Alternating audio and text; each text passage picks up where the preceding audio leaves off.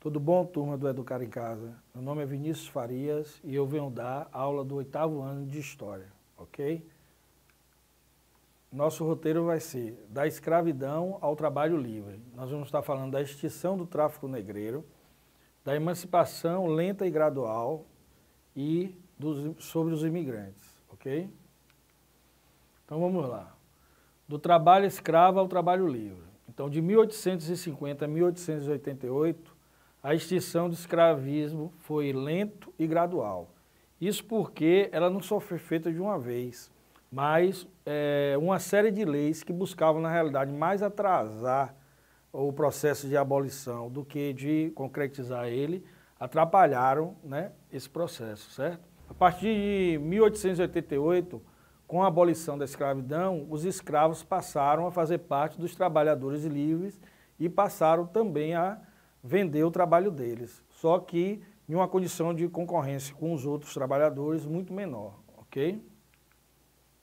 Vamos falar agora sobre a extinção do tráfico negreiro. Bom, a extinção do tráfico negreiro foi um fato é, preponderante para iniciar a abolição dos escravos. Por quê? Se não havia mais o transporte de escravos da África para o Brasil, uma hora ia parar de ter esse tipo de mão de obra, ok? Então o que é que acontece? É, só os escravos nascidos no Brasil, só os filhos de escravos nascidos no Brasil que seria essa mão de obra, né? porque já não teria mais os que é, viessem diretamente da África. Né? Então, em 1845, o parlamento inglês aprovou uma lei permitindo que a marinha inglesa capturasse navios que fizessem esse tipo de, de comércio. Okay? Então, a partir daí, o Brasil se viu pressionado né? E pela lei Eusébio de Queiroz, ele extinguiu de uma vez por todas a possibilidade de haver transporte de escravos da África para o Brasil, certo? É, isso aí ocasionou um aumento né, do tráfico interprovincial entre o Sul e o Nordeste, ok? Vamos agora para o nosso exercício de fixação. Que país pressionava o Brasil para acabar com o comércio de escravos africanos? Vamos lá?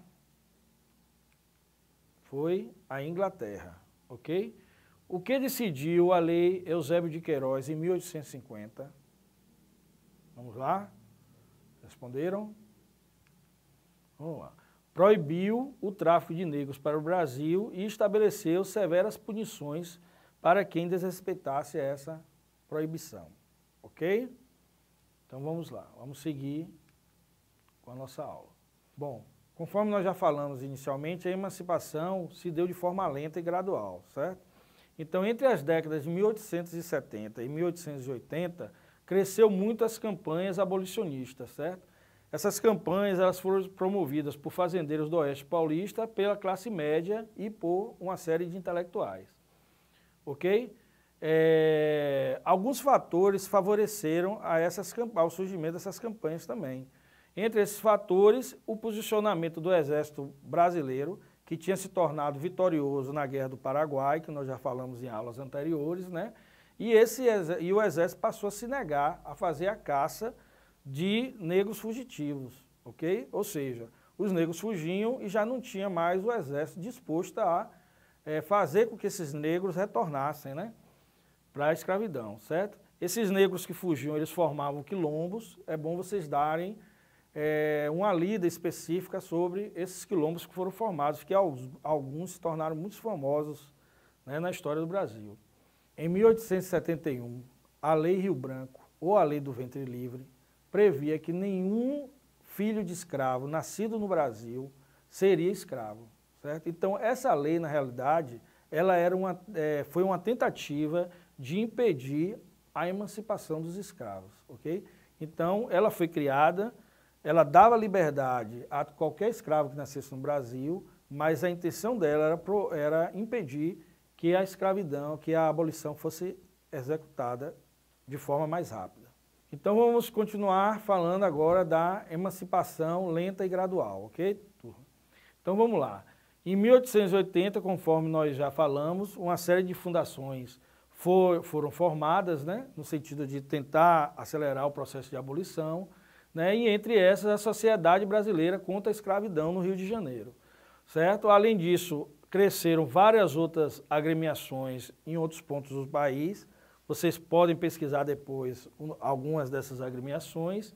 Né? E em 1884, o Ceará é, declara a libertação dos escravos, sendo essa a primeira província brasileira onde isso ocorreu. Ok? É, logo em seguida, nós temos a declaração da lei do sexagenário, certo? Ou a lei é, Saraiva-Cotegipe, né, que prevê a, liberação, a libertação de todos os escravos acima de 65 anos. Então, todos os escravos acima de 65 anos tinham que ser alforriados. Né? Os imigrantes. Bom, os primeiros imigrantes chegaram ao Brasil já em 1819, ok? Eles vieram ainda no governo de é, Dom João VI e eram suíços alemães. Eles é, fundaram a cidade de Nova Friburgo e, posteriormente, os alemães se fixaram na província do Rio Grande do Sul. Os imigrantes, é, eles vieram muito pela necessidade da lavoura cafeeira, certo? E, e o senador Nicolau de Campos, ele institu, instituiu o sistema de parceria, certo? Depois vocês pesquisem um pouco mais sobre o sistema de parceria, mas para vocês entenderem, é, os grandes proprietários de lavoura de café da época, eles é, subsidiavam no início a vinda dos imigrantes, né? então eles davam é, moradia e uma série de benefícios para esses imigrantes e, a posteriori, os imigrantes pagavam com o trabalho né? e a produção era dividida, certo? De igual forma. Esse processo vocês vão ver que não foi um processo que deu certo, ok?